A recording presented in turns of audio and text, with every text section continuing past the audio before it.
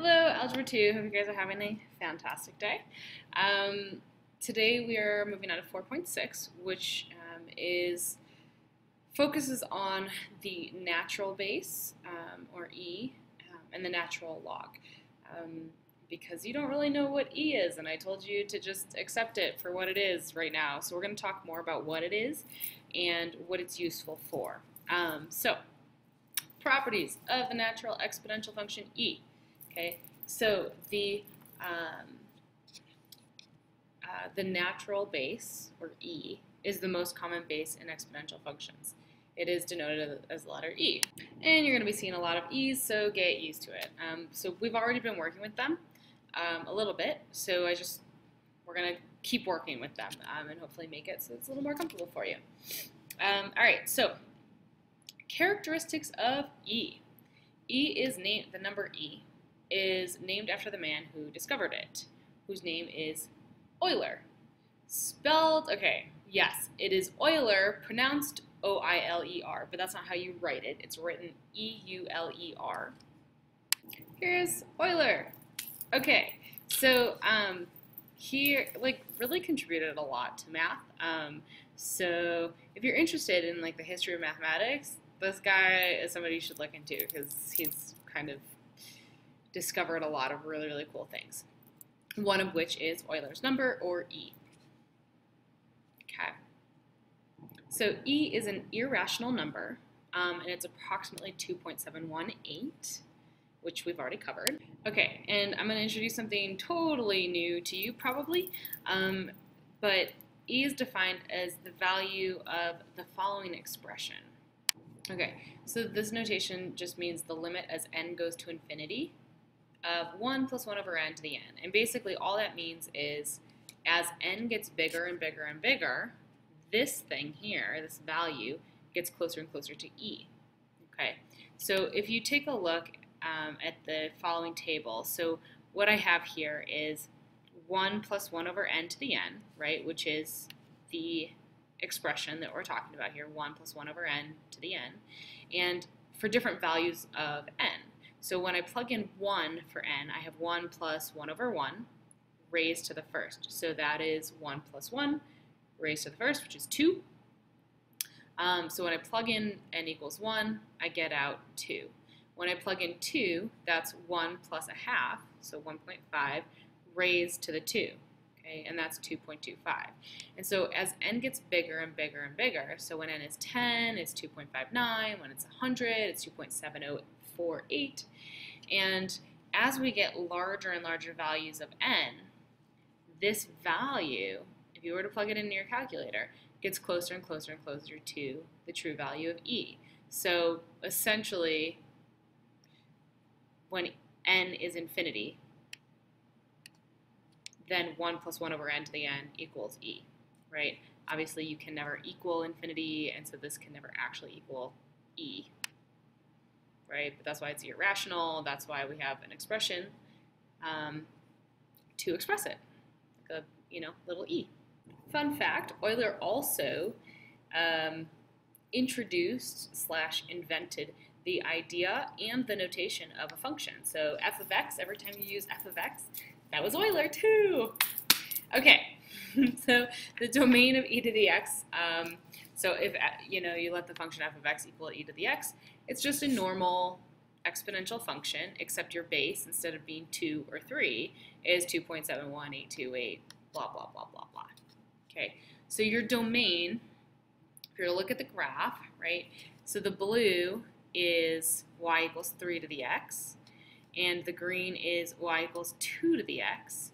And then if you notice e to the x, which is 2.7, so it should be in between 2 and 3, right? 2 to the x and 3 to the x um, is. And it's closer to 3 to the x than it is 2 to the x because 2.7 is closer to 3. okay, so it's, it's still just an exponential function, right? So its domain is negative infinity to infinity, and its range is 0 to positive infinity, um, just like all other exponential functions. It goes through 0, 1, just like all other exponential functions. It goes through the point 1, comma, e, so yeah. Okay, so there you have it. Um, so there's an E button on the calculator. So here's my graphing calculator, and I have, there's actually two E buttons. There is um, this one here that says e to the x, and then there's also a little tiny e as well, which I'm trying to find. Okay, so your little e is above the division sign. Um, little e is there. Um, it's right under where pi is. Okay, so here's e. So if I just click e, so second the division symbol, it gives me what the value of e is, 2.718. Now the e to the x button gives me e, and it immediately gives it a power. So, I mean, so if I want to do like e to the fifth, I can do that. But I can also figure out e to the fifth, fifth by using the other one, e raised to the fifth power. And I still get the same answer. I don't know why they have both. Maybe they just wanted to put an extra button on the calculator to make it symmetric or something. I, don't, I have no idea. You can look it up if you're curious. Okay, just like we've used transformations in the past, you can use transformations to graph the natural log, or sorry, the natural um, exponential function. So um, if we know that e to the x looks like, you know, it's got your asymptote at the x-axis, and it goes through the point 0, comma 1, and it goes through the point 1, comma 2.7, right? That's e to the x. So then I can take e to the x and minus 3 moves it down 3. So all that does is it changes that point that was um, 0, 1. That moves down 3. So 1, 2, 3 down to negative 2. So it goes through the y-axis at negative 2.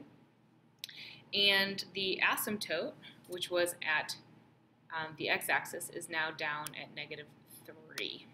Okay, um, But it still looks pretty much the same right? It's just shifted down three units, okay?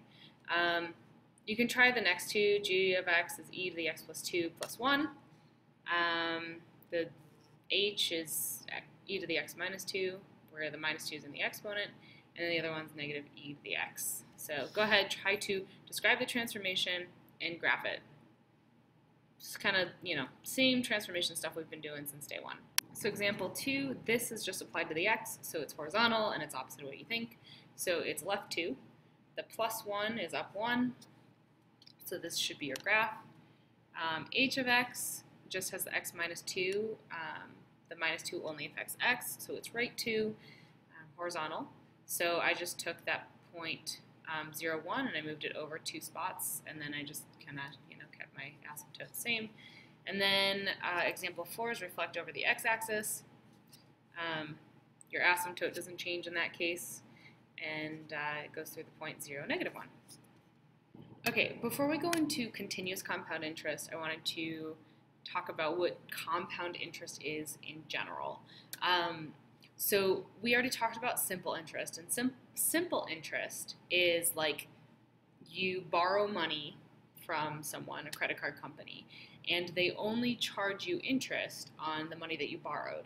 So um, if you borrowed $100 and they have 10% interest, then it's $10 per year or per month, however often that they accumulate um, the interest, right? However, compound interest is when you have to pay interest on the interest as well. So you borrow $100 and then the next year you have $110 that you're owed. And so then you're paying money, you're paying interest on $110 for the following year. So rather than, so you add $10 the first year, and then the second year you add $11. So you would then owe 121 and then the next year you add $12.10 right? So 10% of um, whatever your amount is, right? So compound interest accumulates more quickly than simple interest. Um, and there's a general formula for compound interest, which we haven't really talked about, because the other thing is too, this way that I'm talking about is only if it compounds annually. So every year they charge you something, you know, they charge you the 10%. Um, but they could charge you that 10% every quarter of a year, or every third of a year, or every month, or every day. Um, so it just kind of depends on the situation. So the following is the formula for compound interest. Okay, so compound interest is A of t equals P times 1 plus R over N raised to the NT, where A of t is the amount owed after t time, P is the principal, or the amount that you borrow, or the amount that you invest, depending on what kind of interest it is. And then R is the rate of interest, so if it's a 10% interest rate, that's 0.1. Um, and then N is the number of times per year the interest is compounded. Um, if we're talking, you know, units, N is the number of times per year the interest is compounded, then T has to be um, in years. Okay, so you have to be really consistent and careful with your units. Um, okay, so something to connect to past formulas that we've used. If n is 1, what does that mean? That means you compound one time per year, okay? And then the formula just turns into p times 1 plus r over 1, which is just r, raised to the 1 times t. Well, a equals p times 1 plus r to the t. That was our formula that we used before, before we learned about other compound interest and that you can compound it more than once per year. So, this you've seen before. This is the more complex version. Okay, so here's the thing. I can compound interest four times a year or 12 times a year, right, once a month. Or I could do it every day, 365 times. So then this would be 365 and this would be 365.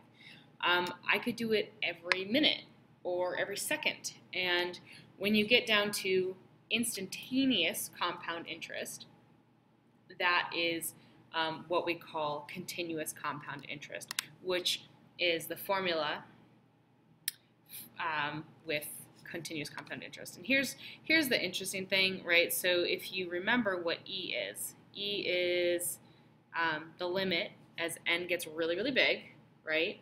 So when um, of 1 over 1 plus n to the n, right? And if you look at our compound interest formula, that's uh, your principal um, times 1 plus r over n to the n times t. And so um, if you notice, if I were to remove the r and just put a 1 there and remove the t, I would have this formula, 1 over 1 plus n to the n. Um, and so what happens is when n gets to infinity, this whole thing turns into e, okay? So kind of a cool uh, connection there. So um, your continuous compound interest is um, A, your, the amount um, of money over a certain amount of time is equal to the original, the principal, right, the original amount that you invest um, or borrow, times E raised to the R times T, where T is the total, or A of T is the total amount after two years, P is your principal, R is your rate of interest, and T is your time in the number of years. Okay, so you also have um, exponential growth and decay models. Um, and so if we're talking about population growth, um, you're going to have a positive value uh, for R. And if you have decay, then your um, value of R is going to be negative because you're raising E to a negative power, which actually makes it decay rather than um, grow. Okay, so your population growth um, and actually, this is the same, like radioactive decay um, or exponential growth of um, something other than a population will also follow this form. Um, and it's just that A of t equals A0 times e to the kt, um, where A of t is the population or amount after a certain amount of time, and A0 is the initial population or the initial amount. Um, it's a constant, just a number. K is a growth rate, so K can be positive if it's growth, or K is negative if it's decay, um, and then T is time. So note that these two formulas are exactly the same, right? P is my starting amount, A0 is my starting amount. E to the KT R is a rate, K is a rate, same thing.